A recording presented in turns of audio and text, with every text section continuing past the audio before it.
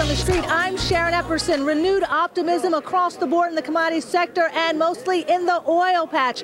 We are looking at oil prices well above $100 a barrel right now for WTI futures and also approaching some key levels for Brent crude as well. Keep in mind, as global equities are stronger, the euro is stronger, the dollar a bit weaker, we are looking at buying activity here in the oil sector, but not so in natural gas. Natural gas continues to be under pressure here, approaching that $2.50 mark. We did get a report from the Energy Information Administration talking about the record amount of supply and production of natural gas, and that is something that continues to pressure prices as well as the warmer temperatures that are expected through the month of February. In terms of gold prices, key level here 1750, and that is where we are approaching right here for gold. Gold remains firm here. The buying in gold has been quite strong for the start of the year. Back to you guys.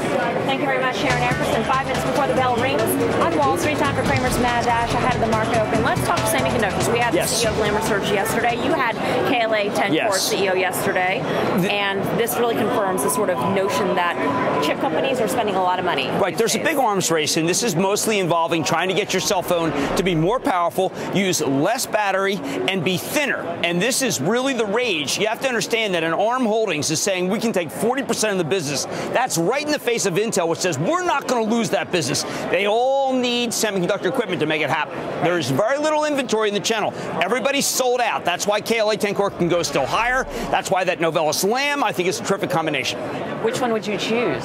I mean, uh, KLA versus Novellus Lam, given wow. the size of Novellus Lam now. And the CEO said to us specifically, and without any question, that they're poised to gain a significant share of that new Intel spending. Novellus was a lean company, but together they can still take out a lot of costs. So on an earnings per share basis, I think I might want to go with that combination. But KLA Tencor, remember, they are smoking. They had an unbelievable last month, and they beat the numbers by, they were up 95%. I mean, they beat the numbers dr- dramatically. They couldn't even, they had no visibility to the fact that they had a rush of orders in the last three weeks of the, of the quarter. Yeah. Amazing. As one analyst said, the quarter could not have been stronger yeah, over at ARM. Okay, that was the upside surprise other than Apple that I've seen this quarter. Uh, I mean, downside surprise by today, Archer Daniels. That's the downside surprise that I've seen.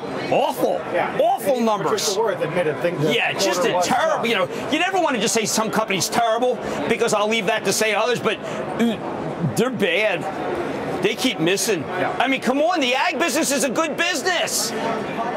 We'll talk more about that and a bunch of other uh, things involving Europe when we come back. Our Squawk on the Street continues in just a moment. Someone's paying for that in Europe, and until we find, by the way, China, new data come out. Chinese buying gold like mad. Forbes magazine like to give credit to where credit's due. But I see a lot of good things happening in the gold market. I also see a lot of good things happening in the semiconductor market. Qualcomm about to report that stock seems to be breaking out. That's very similar to ARM Holdings. Why? Because Qualcomm has the Snapdragon. Everything is cell phones, people. Everything.